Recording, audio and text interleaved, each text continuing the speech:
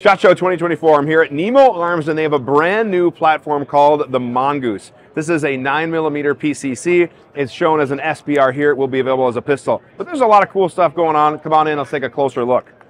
We have a Picatinny back end, so obviously you can add your braces, stocks, whatever. But when we start to look at the fire controls, it is AR style. It has a modified AR trigger in it now. They're working on more AR trigger compatibility, AR ergonomics, which is great. Takes Scorpion magazines, which means the bolt does lock back. And then we have ambi bolt catch, bolt release on the right side as well as on the left side. But look at the operating system. It is a delayed roller system and it has a tilting barrel if you guys can see that. They're saying that the recoil impulse is really nice, but because of that tilting barrel, they've addressed the additional hardware required to make sure that the return to zero and accuracy is good, but it offers a really, really nice recoil impulse with that operating system. I can't wait to get one of these to the range. These things look pretty cool.